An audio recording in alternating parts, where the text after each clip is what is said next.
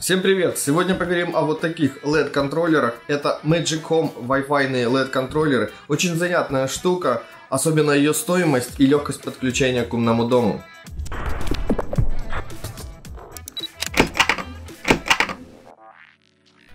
Давайте начнем с самого начала. Ко мне эти LED-контроллеры приехали вот в таком виде. Большой в коробке, а маленький в антистатических пакетиках. В комплекте идет сам контроллер, липучка, чтобы можно было легко его закрепить где-то, и инструкция. Инструкция на английском.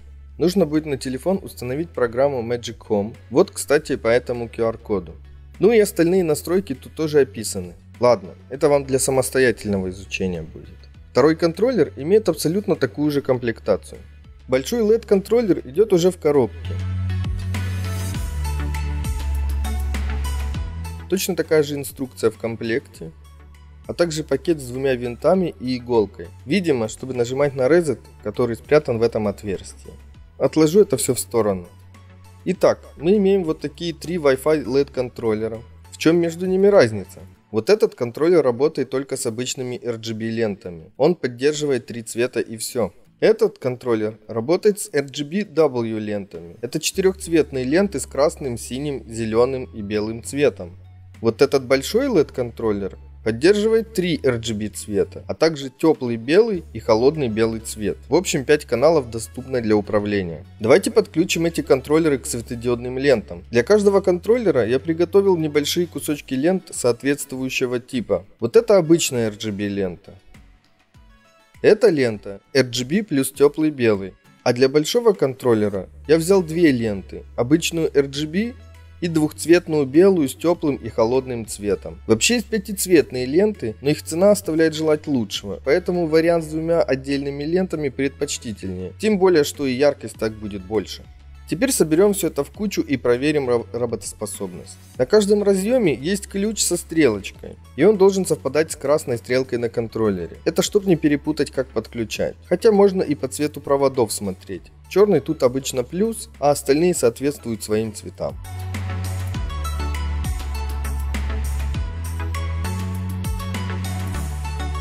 А вот тут плюсовой контакт будет общий.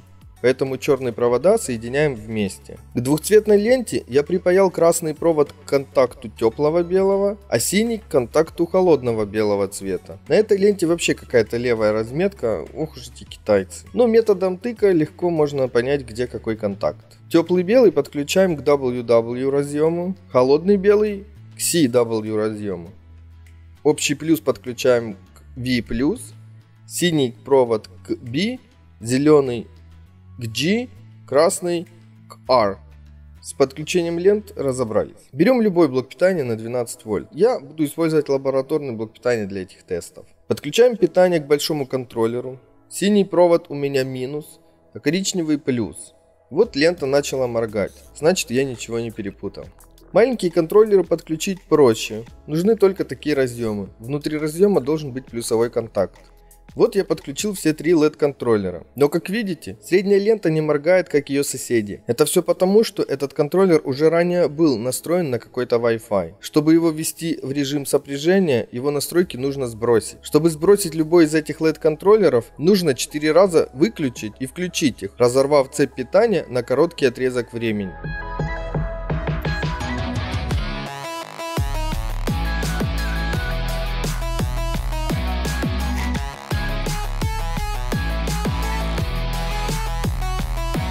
Ну вот и этот заморгал всеми светодиодами на ленте. Значит тоже готов к подключению к программе Magic Home.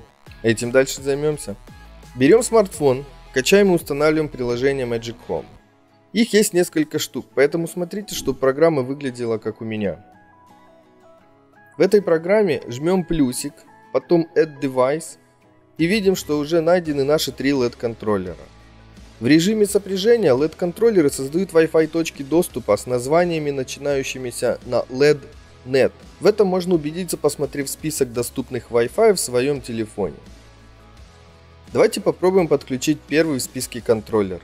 Жмем на его названии, потом выбираем свой домашний Wi-Fi и вводим пароль от него. Ждем пока производится подключение. Если не хочет подключаться, выключаем мобильный интернет и пробуем заново. Это иногда помогает.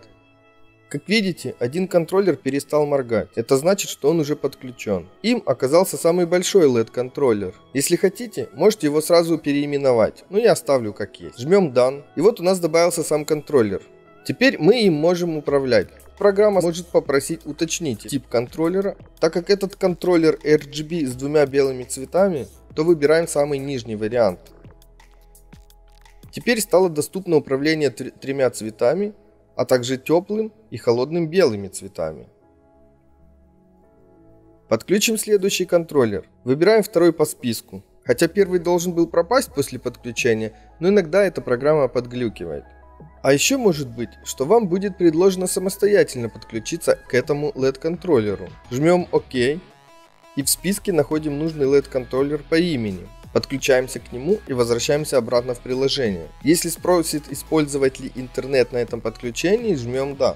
Ну, тут все знакомо. Выбираем опять наш домашний Wi-Fi. Пароль там должен быть сохранен еще с первого раза. Почему меняется логика подключения в приложении, для меня осталась загадка. Возможно, к разным контроллерам оно подключается по-разному. Честно, не знаю. Если вы в курсе, пишите в комментах. Вот и этот контроллер перестал моргать. Приложение предлагает теперь зайти в настройки и подключить телефон обратно к домашнему Wi-Fi и затем вернуться в приложение. Телефон подключился, можно возвращаться обратно. Ну вот и второй готов. Теперь у нас два контроллера подключены. Вот этот и вот этот. Остался один. Давайте его подключим. Тут, думаю, и без комментариев будет все понятно. Кстати, подключенные контроллеры уже пропали из списка.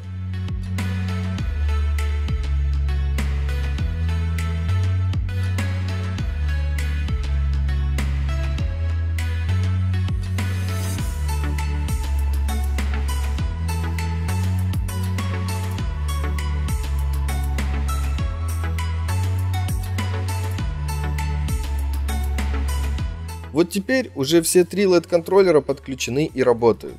Удобно в приложении использовать группы, но нам это не пригодится.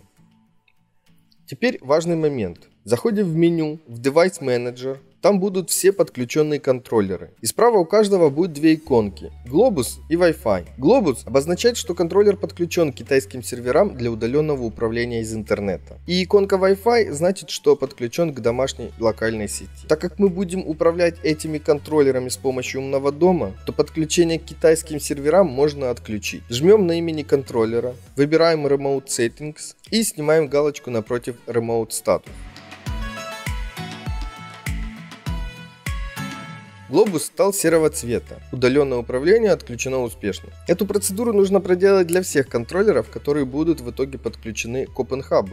Еще нужно будет зайти в каждый контроллер в Device Information и переписать MAC адрес и IP адрес. Сделайте себе табличку такого типа, потом будет проще добавлять все в умный дом. На этом с приложением мы закончим. Все контроллеры подключены к домашнему Wi-Fi, работоспособны и готовы к использованию. Осталось их добавить в умный дом. Этим дальше и займемся. Перемещаемся за свой компьютер, открываем браузер, заходим в уже рабочий OpenHub, открываем Paper UI и как обычно идем сразу в Add-ons в раздел Bindings. Тут ищем биндинг для наших Wi-Fi LED контроллеров. Он есть в этом списке. Опускаемся в самый низ и находим биндинг, который называется Wi-Fi LED биндинг. Жмем Install, чтобы установить его. Чтобы посмотреть справку по этому биндингу, можно просто нажать на его название и откроется веб-страница с описанием и примерами. На английском, правда, ну разобраться там несложно. Ждем, пока установится наш Wi-Fi LED биндинг. Если у вас долго крутится кружок установки и ничего не происходит, можете обновить страницу и проверить, что там с биндингом. По идее, он уже должен быть установлен. Просто бывает иногда подвисает индикация установки. Теперь переходим в меню Inbox и наблюдаем LED-контроллеры, которые обнаружил OpenHub в сети. Чтобы добавить их, просто нажимаем на галочку и потом на Add as Sync, так можно добавить их все. Переходим теперь в меню, в Configuration, Things и любуемся добавленными LED-контроллерами. Можете обратить внимание, вот это их MAC-адреса, что мы раньше переписывали в табличку. По ним можно понять, какой из них какой. Но не так все просто, как хотелось бы. При автообнаружении бывает оно подглючивает и не сохраняет настройки контроллера. Хотя может это и исправят в дальнейших версиях. Или если, например, эм, просто не срабатывает это автообнаружение. Поэтому сразу покажу ручной вариант настройки. Мне такой даже больше нравится. Как я уже ранее говорил в видео про установку OpenHub, в нем есть два варианта настройки. Через веб-интерфейс или через файлы конфигурации. Сейчас мы сделаем все через файлы конфигурации. Удаляем отсюда эти контроллеры и свернем браузер. Качаем и открываем архив со всеми настройками, ссылку на который я оставлю в описании для своих любимых подписчиков. Чтобы скачать, кстати, нужно обязательно быть подписчиком. В общем, э, открываем архив. Тут я уже добавил все необходимые файлы с настройкой. Давайте разложим их по своим местам. Заходим в конфигурационный каталог OpenHub, там в папку Things и копируем из архива в нее файл magichome.led.think. Открываем этот файл для редактирования в блокноте. Тут надо прописать свои настройки. Помните, я вам говорил записать MAC и IP адреса в табличку? Так вот, теперь она вам и пригодится. Я вот себе сделал такую табличку, в которой указал типы контроллеров, MAC и IP адреса. Начнем, наверное, с самого маленького контроллера. Копируем его MAC адрес и вставляем сюда. IP адрес копируем и вставляем сюда вместо этого, что в примере. Проверяем, чтобы в протоколе было написано LD382A. Это что-то наподобие типа контроллера. Теперь копируем MAC-адрес среднего контроллера, тот, что с одним белым, и вставляем сюда. Ну и IP-адрес, соответственно, сюда. Протокол тоже должен быть LD382A. Ну и настала очередь самого большого контроллера. Все так же само. Только протокол должен быть для большого контроллера LD686. Обязательно сохраняем файл. Возвращаемся в OpenHub, обновляем страницу и видим, как снова добавились наши три LED контроллера. Это OpenHub прочитал только что созданный файл конфигурации. Там у нас еще остались два файла в архиве. Давайте и их перекинем на свои места в конфигах OpenHub. Файл magichome.led.item копируем в папку items. Затем переходим в папку Sitemaps. Там должен быть файл с расширением sitemap. У меня это demo.sitemap. В архиве открываем файл magichome.led.sitemap блокнотом. Выделяем все его содержимое и копируем. Затем открываем файл demo.sitemap и вставляем тот код внутрь этих скобок. Это будет внешний вид панели управления LED-контроллерами. Не забываем сохранить все изменения. Закрываем блокнот, а также архив, он нам больше не понадобится. Возвращаемся к веб-интерфейсу OpenHub и заходим в настройки первого LED-контроллера. Тут уже автоматически созданы такие каналы управления контроллером, но их нужно еще подключить к айтемам, которые мы добавили с файлом magiccom.led.item. Открываем также и этот файл. Вот прописаны айтемы для самого маленького контроллера. Включение и управление цветом. Вот это айтемы для среднего контроллера. Тут уже три айтема. Включение, управление цветом и управление яркостью белого канала. Ну а это для большого контроллера. Тут еще и управление вторым белым добавилось. По табличке проверяем, какой тип контроллера сейчас открыт в OpenHub. MAC-адрес заканчивается на, 8, на 0.8, значит это большой контроллер. Нам нужно, чтобы описание канала в файле совпадало с описанием канала в интерфейсе OpenHub. Поэтому берем эту часть кода и копируем файл вот так. Сохраняем файл. Идем в OpenHub и обновляем страницу. Если в центре синих кружков появились белые точки, значит каналы связаны с айтемами и мы все сделали правильно. Теперь нужно сделать то же самое для других контроллеров. Откроем настройки второго контроллера в OpenHub. MAC-адрес у него заканчивается на 72. Проверяем по табличке. Это средний контроллер с одним белым. Можно, кстати, сразу из таблички и копировать этот адрес. Они, в принципе, одинаковые. Что тут, что тут. И вставляем это в описание каналов для среднего контроллера. Вот сюда. Сохраняем, обновляем и смотрим. Соединились три канала. Это логично, так как у среднего контроллера нет второго белого цвета. Переходим к следующему контроллеру. И делаем все то же самое, только с его MAC-адресом. Сохраняем, обновляем и смотрим. Соединились два канала. Все ок. Открываем OpenHub в отдельной вкладке. Только уже заходим в Basic UI. И любуемся тем, что мы наделали. Вот так выглядит вся писанина в файле sitemap. Вот это уже идут наши LED-контроллеры и управление ими. В данный момент, когда я тут клацаю и двигаю ползунки, LED-контроллеры уже меняют свой цвет и яркость. Сейчас покажу с телефона, как это выглядит. Контроллеры я спрятал за диван. Мне кажется, так интереснее вид получается. Ну, то такое. В общем, включаем первый. Проверяем, как регулируется цвет. Тут все работает. Проверяем второй. Включаем его. Цвет меняется. Его яркость тоже. Тут все ок. Проверяем белый канал. Регулируется нормально. И проверяем последний. Тоже проверим, как у него цвет регулируется. Все ок. А также проверим белый теплый и белый холодный. Все работает. Вот и отлично.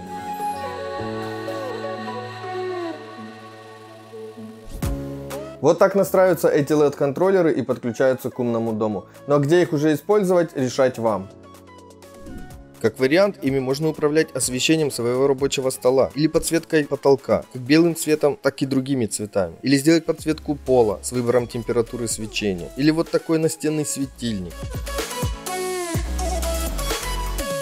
Ну вот и все. Надеюсь, это видео было для вас полезным. Подписывайтесь на канал, ставьте свои лайки, дизлайки, пишите комментарии. До встречи! В приложении Magic Home есть несколько интересных функций, которые мне понравились. Например, микрофон. Тест, тест, тест. Как видите, оно реагирует на голос просто через микрофон телефона. Прикольная, ну, бесполезная функция. Еще можно заставить LED-контроллер работать как светомузыка. Это, пожалуй, самая прикольная функция из всех. Отлично подойдет для домашних вечеринок.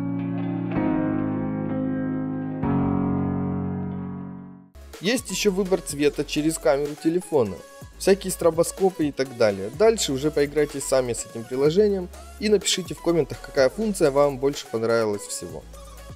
На этом разрешите еще раз откланяться. До следующих встреч. А прямо сейчас возьми и подпишись на канал. И жми колокольчик, чтобы не пропустить следующие видео.